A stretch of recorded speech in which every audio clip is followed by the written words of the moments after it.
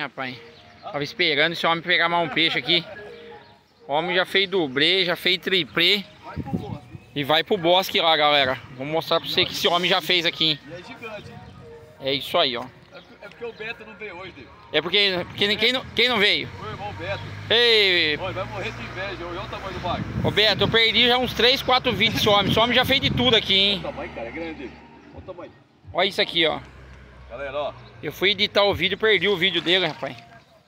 Aí, galera, ó. O homem pegou dublê, pegou tempo. Eu vou mostrar um pouquinho, vou mostrar o saco dele e vou mostrar pra vocês aqui se esse homem vai levar pro bosque aqui, ó. Olha que legal. Olha isso aqui, ó. Vou mostrar o saco. Ó, mostrar pra vocês aqui, ó.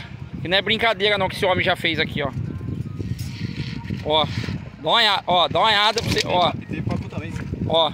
Ó, tem pacu. Ó, ó isso aqui, tamanho da peça. Ó, tem uns 5, 6 pacu, galera, ó.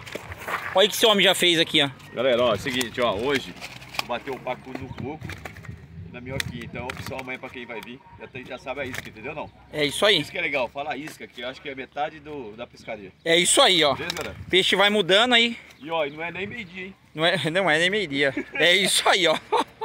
O homem já pegou demais, galera. Olha isso aí, vai lá pro bosque. Tudo pro voz. Parabéns, viu? Tamo junto.